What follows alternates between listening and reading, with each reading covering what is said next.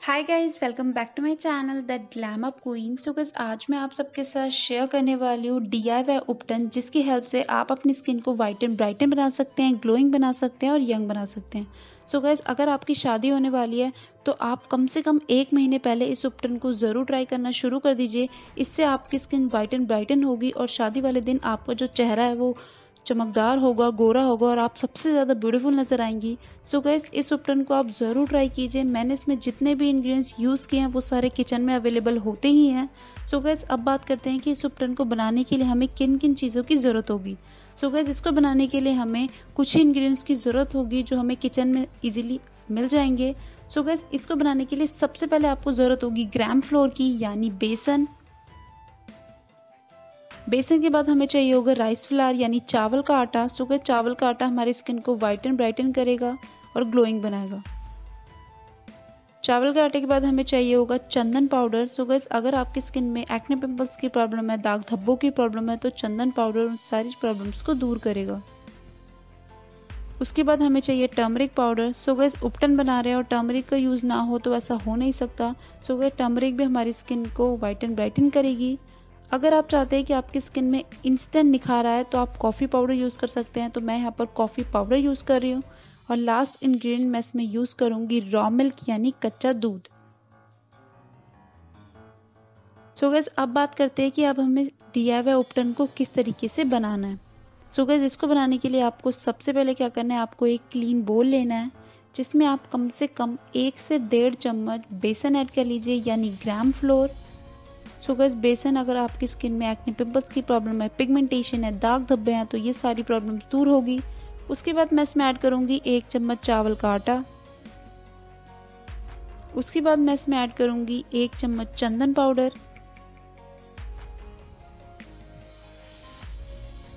और आधा चम्मच ऐड करूँगी coffee powder coffee powder add करने के बाद आपको इसे अच्छे से मिक्स कर लेना है, ताकि सारी चीज़ें एक साथ अच्छे से मिक्स हो जाएँ। सो अगर करवा चौथ भी आने ही वाला है तो आप कम से कम एक महीने पहले इसे भी ट्राई करना शुरू कर दीजिए। करवा चौथ वाले दिन आपकी स्किन बहुत ही ज़्यादा ग्लोइंग नज़र आएँगी और आप सबसे ज़्यादा आपका जो चेहरा है, वो निखरा हुआ नज़र आएगा। उसके बाद मैं इसमें एक चौथाई चम्मच टर्मरिक पाउडर ऐड करूँगी, यानी हल्दी पाउडर और इसे भी अच्छे से मिक्स कर लूँगी। और मैं इसमें आखिरी इंग्रेडिएंट जो ऐड करूँगी वो है रॉ मिल्क यानी कच्चा दूध। आप इसमें धीरे धीरे तीन से चार चम्मच कच्चा दूध ऐड कर लीजिए ताकि आप एक स्मूथ पेस्ट तैयार कर सकें। सो गैस ऐसा नहीं है कि आपकी शादी होने वाली है या फिर करवा चौथ है, आप तभी इसे यूज़ कर सकते हैं, आप इसे रेगुलर बेसिस पर भी यूज़ कर सकते हैं। अगर आपकी शादी नहीं भी होने वाली है तो ये उपटन आप यूज़ कर सकते हैं। बहुत ही ज़्यादा नेचुरल और इफ़ेक्टिव है। मैंने इसमें जितने भी इंग्रेडिएंट्स यूज़ किए हैं, वो बहुत ही ज़्यादा अच्छे हैं आपकी स्किन के लिए और सारे ही आपको किचन में ईजिली मिल जाएँगे। सो गैस आप इसे अच्छे से मिक्स कर लीजिए और आप देख सकते हैं कि मेरा जो डी आई है वो एकदम रेडी हो चुका है। बहुत ही अच्छे से स्मूथ पेस्ट तैयार हो गया है इसका। सो गैस अब बात करते हैं कि इसे किस तरीके से यूज़ करना है। सो गैस इसको यूज़ करने से पहले आपको अपना फेस अच्छे से वॉश कर लेना है। और गैस इस डी आई उपटन को बनाना बहुत ईजी आप देख ही चुके हैं। और इसमें जितने भी यूज़ किया वो मैंने बहुत ही ज़्यादा नेचुरल है आपकी स्किन के लिए। सो गैस अब इसे यूज़ करने से पहले आपको अपना फेस अच्छे से वॉश कर लेना है ताकि आपकी स्किन से सारी डस्ट डर्ट रिमूव हो जाए। और उसके बाद आप इसे ब्रश की हेल्प से, अपने हैंड्स की हेल्प से, अपने पूरे फेस पर अप्लाई कर लीजिए। सो गैस ये डी आई वाई उपटन आपके फेस के लिए नहीं, पूरी बॉडी के लिए है। अगर आप चाहते हैं कि आप अपने, अपनी नेक पर भी अप्लाई कर सकते हैं, अपने लेग्स पर भी, अपने हैंड्स पर भी। सो so गैस पुराने टाइम में हमारी दादी नानी के बाद मार्केट के कोई भी प्रोडक्ट्स नहीं होते थे अपनी स्किन को निखारने के लिए। सो so वो हमारी जो दादी नानी है, वो अपनी स्किन को निखारने के लिए उपटन का ही यूज़ करती थी, क्योंकि उपटन बहुत ही ज़्यादा नेचुरल है। हमारी स्किन पर कोई भी हार्म नहीं होगा इससे, और हमारी स्किन वाइटन ब्राइटन होगी। सो गैस देखिए, इस तरीके से आपको अपने पूरे फेस पर इसे अप्लाई कर लेना है, और उसके बाद आप चाहते हैं कि आप इसे अपने लेग्स पर, अपने हैंड्स पर भी अप्लाई कर सकते हैं। तो मैं यहाँ पर अपने हैंड्स पर भी इसे अच्छे से अप्लाई कर लूँगी।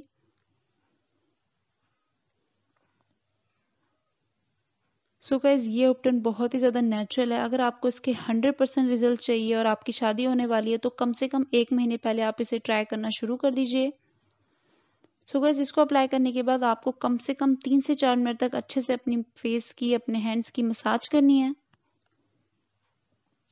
देखिए, इस तरीके से आप अपने पूरे फेस की हैंड्स की मसाज कर लीजिए। तीन से चार मिनट तक आपको अपने फेस की मसाज करनी है।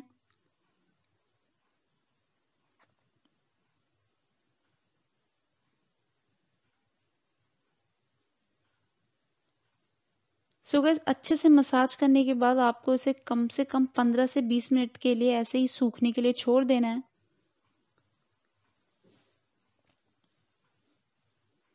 सो so गैस मैंने यहाँ पर इसे सूखने के लिए छोड़ दिया है और उसके बाद आपको अपना फेस अच्छे से वॉश कर लेना है।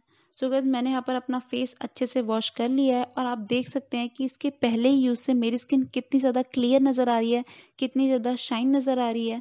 सो गैस आप इस डी आई उपटन को ज़रूर ट्राई कीजिए। अगर आपको इसके बेस्ट रिज़ल्ट चाहिए तो कम से कम अगर आपकी शादी होने वाली है तो एक महीने पहले आप इसे ट्राई करना शुरू कर दीजिए। और करवा चौथ भी आने वाला है तो इस उपटन को आप ज़रूर ट्राई कीजिए। करवा चौथ वाले दिन आपकी स्किन बहुत ही ज़्यादा ग्लोइंग वाइट एंड ब्राइटन नज़र आएगी और आप सबसे ज़्यादा ब्यूटीफुल नज़र आएँगी। मैंने इसमें जितने भी इंग्रेडिएंट्स यूज़ किए हैं वो बहुत ही ज़्यादा नेचुरल है और आपकी स्किन को कोई हार्म नहीं पहुंचाएँगे और मार्केट का महँगे महँगे फेशियल कराने के बजाय आप इस नेचुरल उपटन को ट्राई कीजिए और मुझे कमेंट बॉक्स में बताइए कि आपको इस उपटन के कितने ज़्यादा बेनिफिट्स मिले। सो so, आज के लिए सिर्फ़ इतना ही। मैं मिलूँगी आपको अगली नई वीडियो के साथ। अगर आपको मेरी वीडियो पसंद आई हो तो उसे लाइक करें और प्लीज़ मेरे चैनल को ज़रूर सब्सक्राइब करें। Bye take care